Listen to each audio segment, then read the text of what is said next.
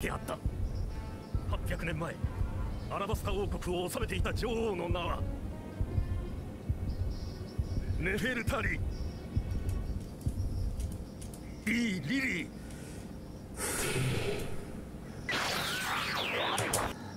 Langsung ke trigger dong ya si Im ini mendengar nama D tersebut ya. Kan apa sih yang membuat D ini ke trigger banget sama nama doang ya.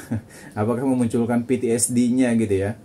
Trauma dia sama nama D cuy. Kemudian langsung itu keluar yang kayak jurus-jurus ya. Entah ini dari Im sepertinya ya kan apakah berhubungan dengan wujudnya.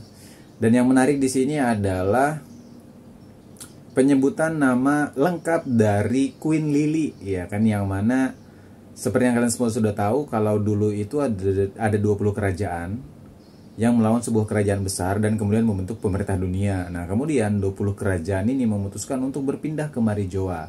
Tapi ada satu kerajaan yang tinggal ya eh, dalam bahasanya mungkin menolak gitu yaitu kerajaan Nefertari dari Alabasta.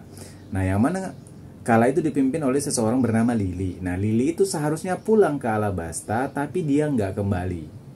Ya, dia nggak kembali ke Alabasta, terus catatan tentang dirinya nggak ada. Nah, yang ada itu hanyalah sebuah surat yang diberikan pada saudaranya si Lili ini, yang mana kemudian ini disampaikan turun temurun ya eksklusif untuk keluarga kerajaan.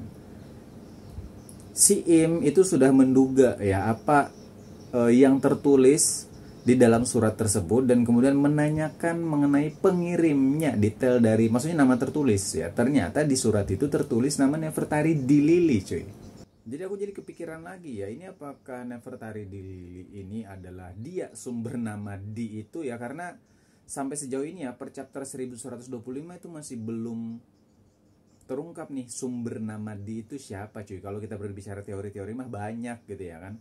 Apakah Nefertari Lily ini memang memiliki nama Di dari namanya dari awal dan dia bisa jadi mungkin pemicu ya penyebaran nama Di ini sekaligus Poneglyph tadi gitu ya kan? Ataukah itu mungkin nama yang diwariskan ya?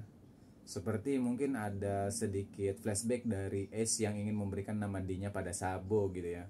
Nah cuma ya ini masih misteri ya. Setidaknya ada yang terungkap mengenai ada terungkap sedikit nih mengenai Eh, orang-orang dengan nama di di masa lalu ya kan? Tapi ya nambah misteri baru lagi. Pertanyaan baru cuy